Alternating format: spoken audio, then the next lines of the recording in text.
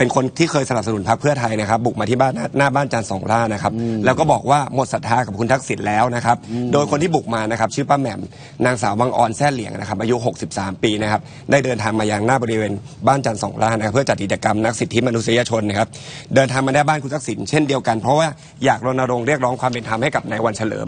คือในายวันเฉลิมเนี่ยเป็นนักกิจกรรมทางการเมืองที่ลี้ภัยไปยังประเทศกัมพูชานะครับแล้วก็หายสาบสูญไปในกรุงพนมเปญประเทศกัมพูชา วันนี้สมเด็จฮุนเซนซึ่งเป็นนายกรัฐมนตรีของของกัมพูชามาเนี่ยก็เลยอยากมาเรียกร้องว่าให้เหมือนขุดคดีนี้ขึ้นมาหน่อยอะไรอย่างเงี้ยเพราะเขาหายไปอ่าอะไรนะครับ แต่ก็ป้าแหม่มเนี่ยก็ได้มีการคล้องล็อกเก็ตนะครับที่มีรูปคุณทักษิณแล้วก็คุณยิ่งรักษณ์ชินวัตรสองอดีตนักนักเคือคล้องไว้ที่คอตลอดคล้องเวไว้ลานะนั่นนะนะฮะแล้วก็ยังมาโชว์นะฮะเนี่ยเป็นเป็นอดีตสองนายกที่เขาแบบ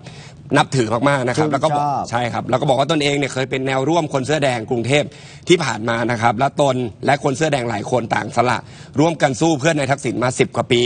จนกระทั่งหลังๆ ที่พรรคเพื่อไทยเนี่ยกลับมาเปลี่ยนขั้วรัฐบาลนะครับเพียงเพราะนายทักษิณเนี่ยอยากกลับมาประเทศไทยนะครับ จึงทำให้รู้สึกตัวเองเนี่ยหมดศรัทธาแล้วก็รับรู้ว่าตัวเองหลอกถูกถูกหลอกใช้นะฮะเพราะว่าจริงๆอะไม่ได้สู้เพื่อประชาชนเคียงบ่าเคียงไหลกันมาสู้เพื่ออยากให้แค่คุณทักษิณกลับมา ก็สู้เพื่อครอบครัวตัวเองใช่ครับป้าบอกอย่างนี้นะใช่ครับครับป้าแหม่มบอกอีกว่าไงป้าแหม่มบอกอยู่นะครับตัวเองยังคงให้เกียรตินายก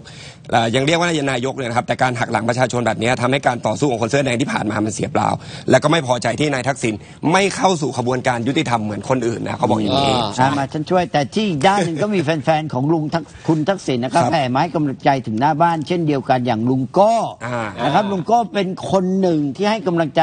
คุณทักษิณก็บอกนะว่าตั้งใจเดินทางมาให้กำลังใจกับคุณทักษิณครับ นะครับ รู้สึกดีใจที่ท่านได้รับการพักโทษและกลับมายังบ้านแห่งนี้อีกครั้งและรู้สึกเป็นทุกข์ที่ทราบว่านายทักษิณล้มป่วยนะครับ เพราะตนไม่อยากให้ท่านเป็นอะไรนะครับลุงโก้ก็ยังบอกอีกว่านะครับ ถึงเวลาที่คนไทยคนในประเทศควรให้อภัยกัน อ่า และ มาเป็นกำลังใจให้กันและกัน ไม่ใช่มาจ้องจะจับผิดอืมโจมตีกันส่วนประเด็นที่มีคนแสดงบางกลุ่มบทศรัทธากับตัวนายทักษิณนะครับครับลุงโก้มองว่าเป็นเพียงแค่คนบางคนเท่านั้น ครับ อยากให้ย้อนนึกถึงไปช่วงที่นายทักษิณยังคงดำรงตำแหน่งนายกรัฐมนตรี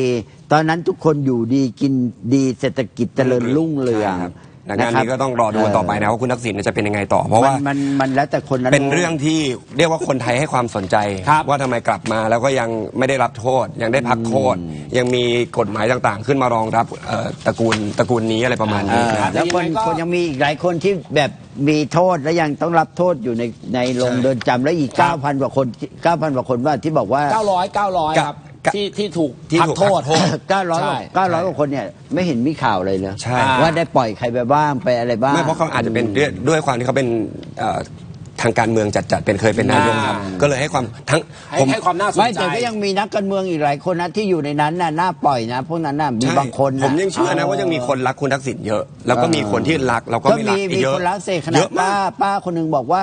อันนี้ป้าเขาพูดนะครับป้าป้าใส่แสอแดงเขาบอกว่า เออ